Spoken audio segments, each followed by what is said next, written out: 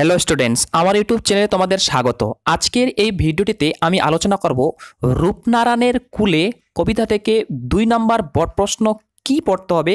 প্রশ্ন এবং উত্তর সহ আজকের এই ভিডিওটিতে আমি তোমাদের দেখাবো। এর আগের ভিডিওর লিঙ্ক অর্থাৎ এর আগে আমি রূপনারায়ণের কুলের কবিতা থেকে প্রথম কি বট প্রশ্ন পড়তে হবে তা নিয়ে আলোচনা করেছিলাম। ওই ভিডিওটি তোমরা দেখতে চাও, এই ভিডিওর ডেসক্রিপশন বক্সে দেখো, আমি লিঙ্ক দিয়ে রেখেছি, সেখান থেকে তোমরা দেখে নেবে। রূপনারায়ণের কুলে কবিতা থেকে দু নম্বর বট কোশ্চেন পড়বে লাইন তুলে তোমরা স্ক্রিনে দেখতে পাচ্ছ, সে কখনো করে না বঞ্চনা। কে কাকে কখনো বঞ্চনা করে না? কবি কীভাবে সেই ভাবনায় উপনীত হয়েছেন?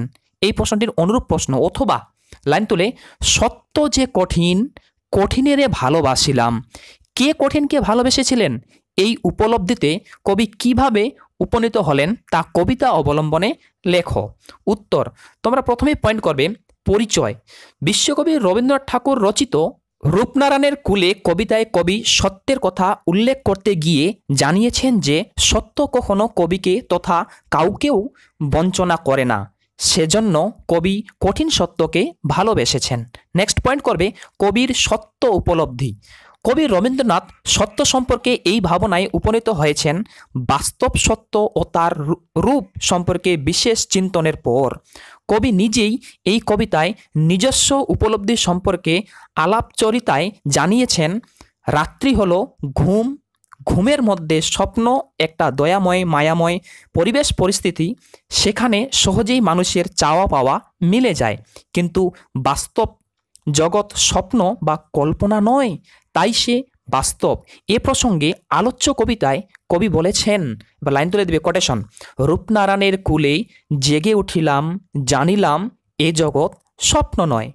প্রিয় ছাত্রছাত্রীরা, এইরকম সাবজেক্ট ওয়াইজ এমসিকিউ, এসএকিউ, বট, প্রশ্ন ও উত্তর এবং এই বছরের পরীক্ষার সাজেশনের জন্য আমার ইউটিউব চ্যানেলটি সাবস্ক্রাইব করো এবং পাশের বেল আইকনটি প্রেস করো।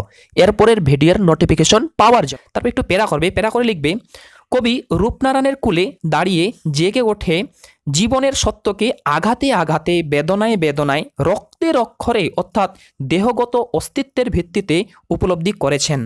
বুঝেছেন, সত্য রূঢ় কিন্তু সে মিথ্যা কল্পনা ও স্বপ্নের জাল রচনা করে মানুষকে বঞ্চনা করে না। সত্য কঠিন হওয়া সত্ত্বেও কবি একে ভালোবেসেছেন, কারণ কঠিন সত্য কখনো বঞ্চনা করে না। তাই কবি বলেছেন, আবার কোটেশন লিখবে, এই লাইন তুলে লিখবে, সত্য যে কঠিন, কঠিনেরে ভালোবাসিলাম, সে কখনো করে না বঞ্চনা।